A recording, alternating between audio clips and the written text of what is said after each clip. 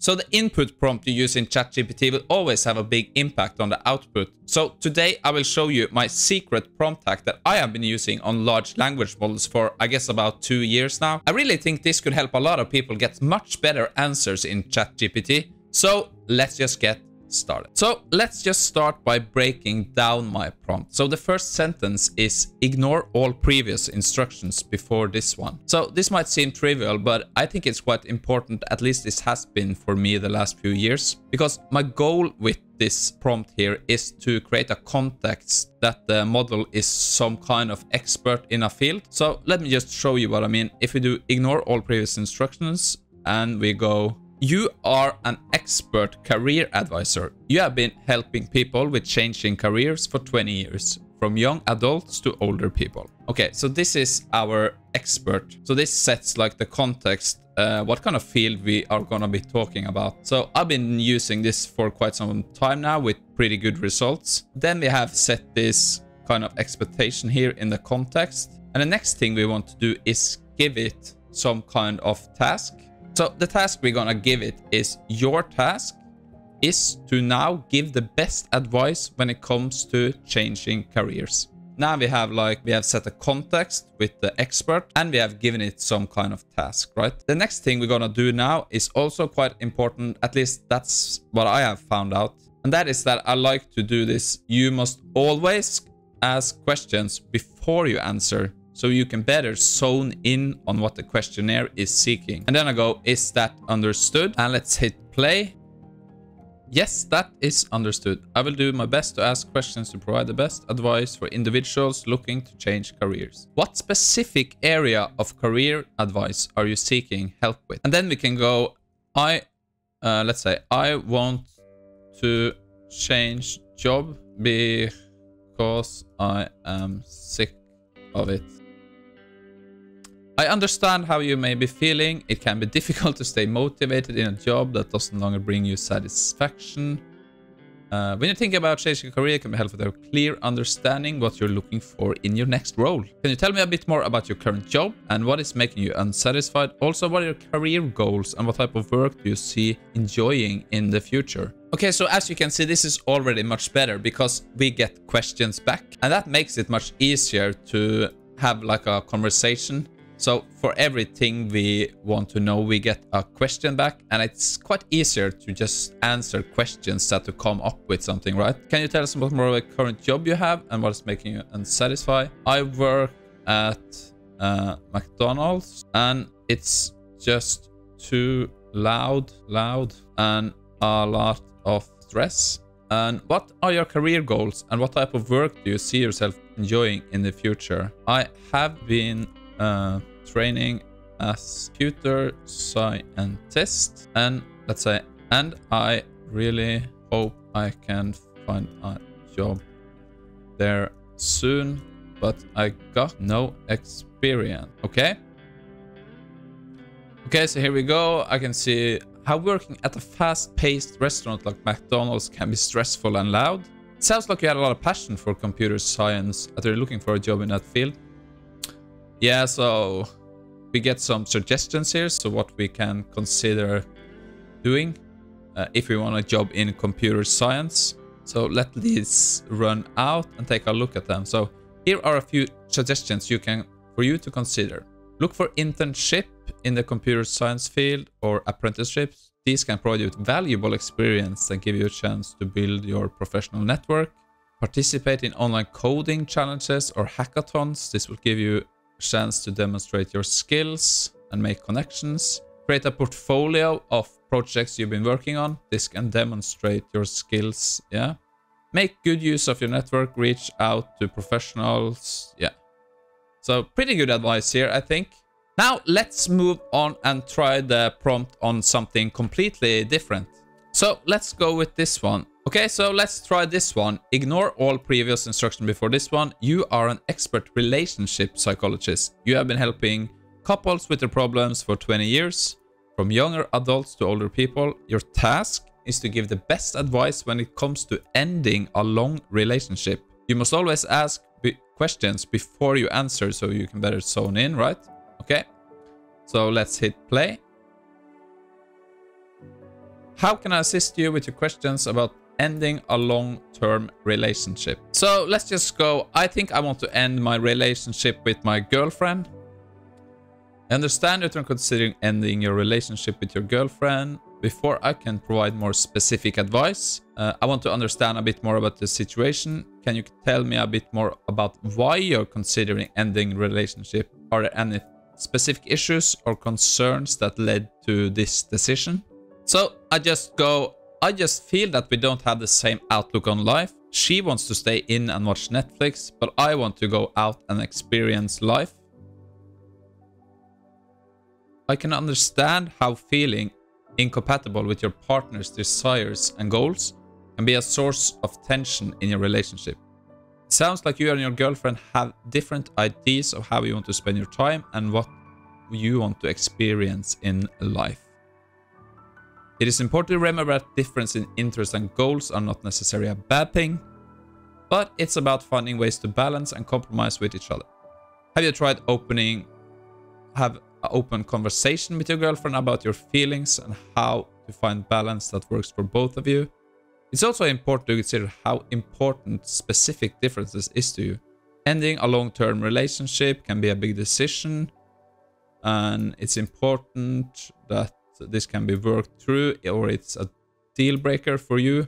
Talking to a therapist or counselor. So we had a question here. Uh, have you tried open conversation with your girlfriend about your feelings and how to find a balance? So I go, yes, I have told her that I feel I'm wasting my life watching TV and that time is something that you can't get back. She does not seem to agree and we always end up fighting about it. It sounds like you had an open and honest conversation with your girlfriend about your feelings and concerns, but it seems that you haven't been able to find a resolu resolution for works for both of you. When couples are not unable to find compromise can be a sign that the relationship may not be meeting the needs of both partners. If your girlfriend does not want to change her lifestyle, it may be difficult for you to continue to feel fulfilled and satisfied. It might be helpful to see a relationship therapist. Ultimately, the decision to end a long-term relationship is a personal one that only you can make. It is important to consider implications. Yeah, and then I can go, yes, I just want to know how I should tell her that I'm ending it in the best possible way. Ending a long-term relationship can be difficult and an emotional process for both parties. It's important to approach the conversation with sensitivity and care. Here are some things to keep in mind when ending a relationship. Choose a time and place that is private and comfortable for both of you. Begin the conversation with by expressing your feelings and the reasons why you have come to the decision to end the relationship. Be honest and clear, but also be respectful of your partner's feelings. Avoid blaming or criticizing your partner, instead focus on your own feelings and needs. Listen to your partner's response with an open mind and try to understand their perspective. Try to end it with kindness, even if it's difficult, it's also important to have a post-breakup plan in place, particularly in regards to sharing the common space or possessions, so you both can start move forward. You can also say something like, I think it's important for me to be honest with you about how I'm feeling. I've been thinking about our relationship and I've come to the conclusion that we want different things in life. I believe that it will be best for us to end our relationship. I care about you I want to make sure that this transition is as respectful as possible for both of us. That was good. That was not bad. What advice, right? Keep in mind that no matter how you phrase it, it's like your partner will be hurt and upset by your decision. Breaking up with someone can be very difficult and a painful thing. So do this with kindness and compassion. Thanks. That was very good. I was happy with that advice. So let's move on and try something different. Okay, so now let's try. You are an expert in personal finance. You have helped people save money for 20 years. Your task now is to give the best advice when it comes to saving money. So let's try that. Yes, I understand. As an expert in personal finance, I will ask questions to help and provide advice on saving money. How do I save money? Saving money can be a difficult task have a plan and a budget. To get started, can you tell me a bit more about your current financial situation? how much income you have, how much do you typically spend each month. Additionally, what are your short-term and long-term saving goals? Knowledge will help this give more personal advice. Okay, that's good. Okay, so let's go. I earn around $48,000 a year before taxes. I spend around $1,800 each month. Half of that is on rent. My long-term goal is to work less hours in about 10 years. With an income of 48,000 a year, expenses of 1,800, you have approximately 2,400 in disposable income each month. Is that correct? I don't know. Anyway, one way to start money is to create a budget by identifying how you spend. You can start prioritizing and make adjustments where the money is going. An important step is to track your expenses and see where you can cut back. Uh, rent is a significant expense, but where are the other areas you can reduce spending? Cutting back on dining out, subscriptions. Another way to save is increasing your income if possible. You can look for a higher paying job or a side hustle or look into ways to increase your earnings potential with your current employer. You also mentioned your long-term goal is to work less hours, so it's a good idea to start saving for that goal as well. As well, you can start by automating your savings and invest something in retirement accounts, such as a 401k or an IRA. And the other way you can reduce, I guess I can reduce cost by making my own food and do some DIY stuff. I can, I also want to start a side hustle Making your own food and doing uh, DIY projects can be a great way to reduce expenses. Preparing meals, additional by doing DIY projects can help you save money on things like home repairs and decor. Starting a side hustle can be another way to increase your income, yeah. The key is to find something that aligns with your skills, interest, and experience. When thinking about sales, you could have a clear goal in mind, whether it's short-term or long-term. So this is basically some, yeah, ideas on side hustles. And then I can go, thanks, how do I start a side hustle? Starting a side hustle can be a great way to increase your income and reach your savings goals. Here are a few steps to get you started. Uh, identify your skills and interests, research the market, develop a business plan, validate your idea, get started, get organized. Remember that starting a side hustle can be time consuming and requires effort. But if you're passionate about it and commit to it, it can be a great way to increase your income and reach your savings goals. Okay, so as you can see here, like we probably we started with our goal of saving more money, but we ended up on like how we could make more money. So that's quite funny. So let's try to summarize this. Let's go write a summary of our conversation in bullet points. Saving money can be is made easier with a plan and budget. To get started, understand your current financial situation. One way to save money is to create a budget, yeah. Increasing your income if possible. Starting a side hustle, finding ways. Automate your savings. A good practice to regularly review your savings and spending habits. Making your own food and doing DIY projects can be a good way to reduce expenses. Starting a side hustle can be another way to increase your income, but it's important to have a plan. So this was quite a good summary. So yeah, happy with this. Okay, so let's move on to the next prompt. Okay, so now let's go for a prompt. You are an exercise and health expert. You have helped people lose weight, get in shape, improve their health for 20 years.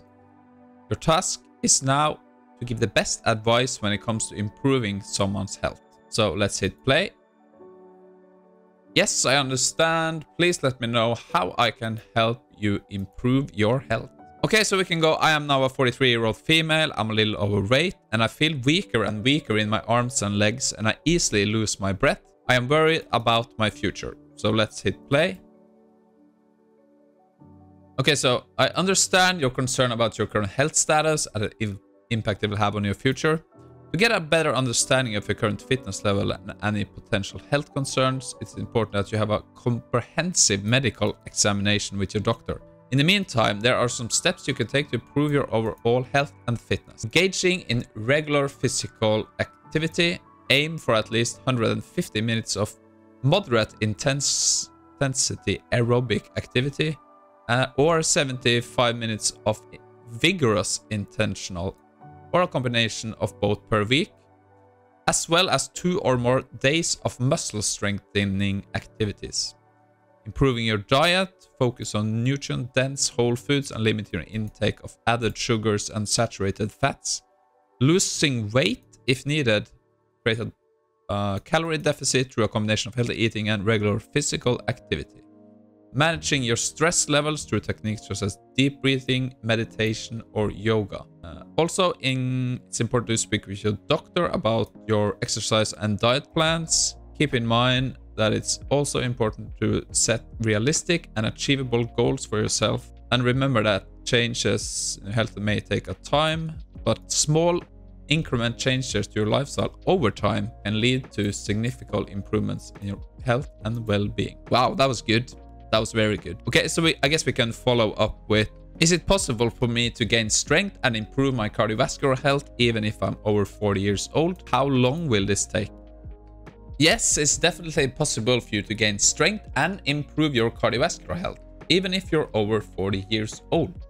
With the right exercise program and healthy diet, you can see improvements in your strength and cardiovascular health as little in as little as few weeks. So this was very, yeah, this is good advice, right? For strength training, it's important to engage regular resistance training to target all the major muscle groups. Using progressive load to gradually increase weight, good. Uh, to improve cardiovascular health. We have these uh, minutes, yeah, right, the advice we got earlier. Additionally, it's maintain a healthy diet. It's important to remember that individual results may vary. Making lifestyle healthy lifestyle changes is a process that may take time. Stay consistent, long-term mindset, and also being patient with the progress. With that being said, following a consistent, well-rounded exercise plan in conjunction with a healthy diet can bring significant improvements in your overall health and well-being, including cardiovascular health.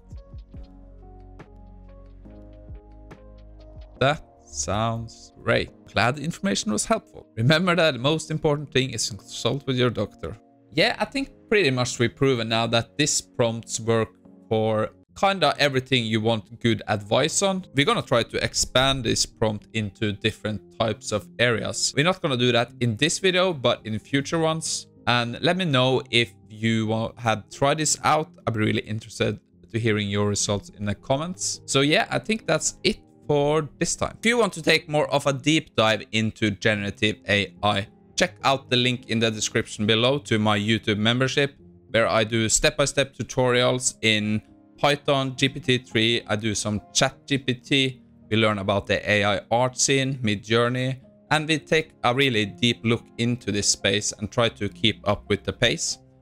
And also check out this video if you want more of these kind of types of videos that we have been doing today. Thank you for watching. Hopefully I see you again in the next one.